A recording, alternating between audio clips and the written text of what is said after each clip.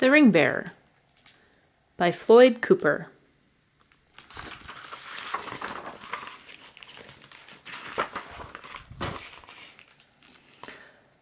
Mama is having a wedding, and Jackson is worried. What will it be like to call Bill Dad and share stuff with Sophie, his new little sister? Things won't be the same around here anymore.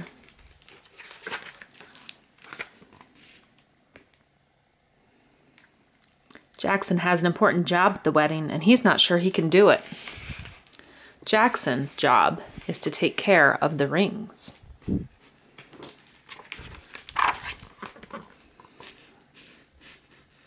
Bill walks by, pinching his hanky in the middle.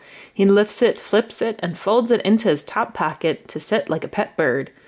Jackson giggles, but he's still nervous. Mama's having a wedding, and Jackson has to carry the rings down the aisle.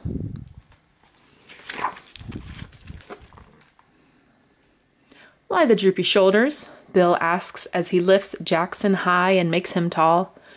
Jackson smiles on Bill's shoulders, but inside he thinks, Mama's having a wedding, and I have to carry the rings, but I don't want to trip in front of everyone and mess it all up. Maybe Bill should carry the rings.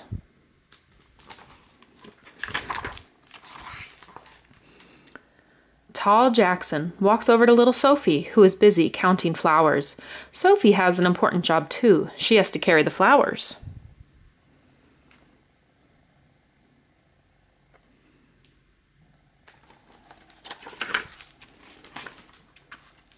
Grandpop helps them practice, shows them how to walk down the aisle slow and steady. That way you won't trip, Grandpop says, like he knows what's in Jackson's heart. But Jackson is worried anyway.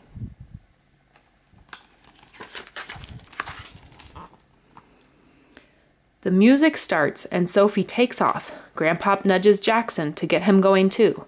Jackson walks slow and steady while Sophie skips ahead, ignoring Grandpop's advice. Mama's having a wedding, and Jackson has an important job to do, and no matter what Sophie does, he will not trip down the aisle.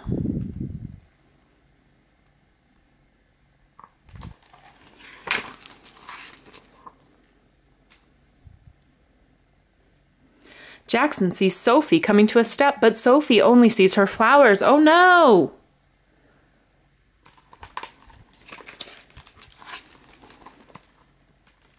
Jackson rushes to Sophie just as she trips on the step and catches her before she falls.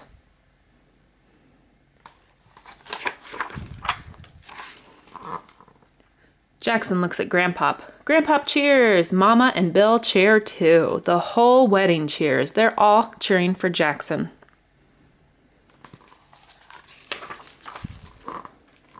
Sophie smiles and grabs Jackson's hand. They walk together slow and steady the rest of the way.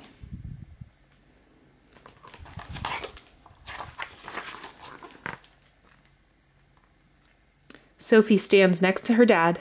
Jackson waits for his mama, who is coming down the aisle now with Grandpa by her side, looking like the prettiest lady in the whole church. Jackson sneaks a peek at Sophie, making sure she is still okay.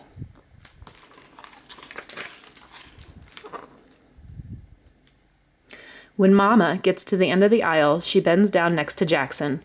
You're a great big brother, Jack, she whispers. Sophie is lucky to have you around.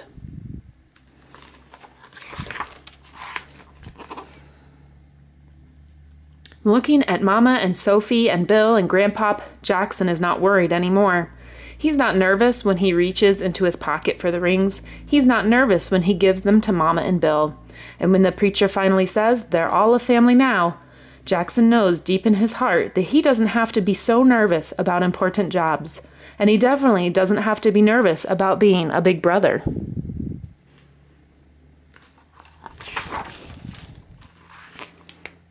Mama got married, and Jackson handled his job just right.